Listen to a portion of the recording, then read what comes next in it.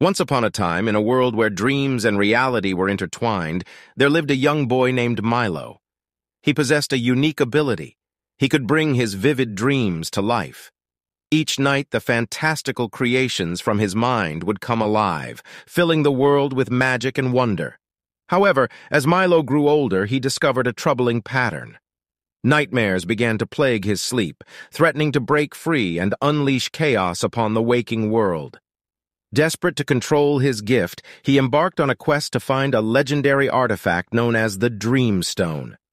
Legend had it that the Dreamstone could harness the power of dreams and unlock their true potential. Milo's journey led him through treacherous lands, encountering enigmatic creatures and solving riddles that tested his wit and courage. Along the way, he befriended a mischievous sprite named Zephyr, who became his loyal companion.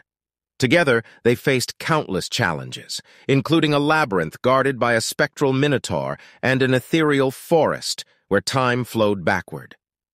As the duo approached the final trial, they were confronted by the Nightwalker, a sinister entity born from the darkest corners of Milo's subconscious.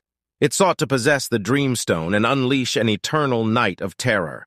The battle was fierce, with Milo's dreams and nightmares colliding in a breathtaking display of magic. Zephyr's cunning tactics and Milo's determination were the key to defeating the Nightwalker, but not without sacrifice.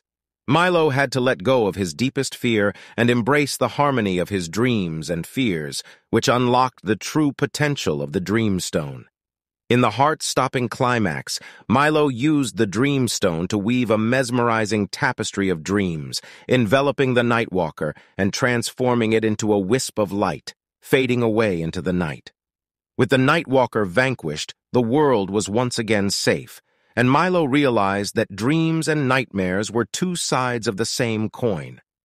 From that day forward, he became a guardian of dreams, ensuring they flourished and nightmares were tamed. The tale of Milo and Zephyr became a legend in its own right, a timeless story of self-discovery, courage, and the extraordinary power of dreams. And as long as there were dreamers in the world, their story would continue to inspire and captivate generations to come.